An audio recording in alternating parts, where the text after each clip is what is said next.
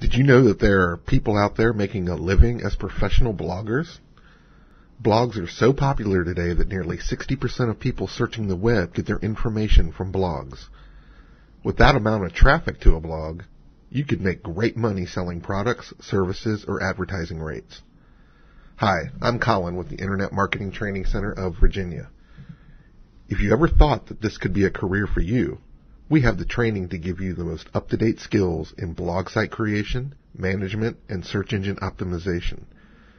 We can teach you effective blogging skills that convert into money and get you found by the search engines as well. There are companies out there, and a lot of them, that need professional bloggers too.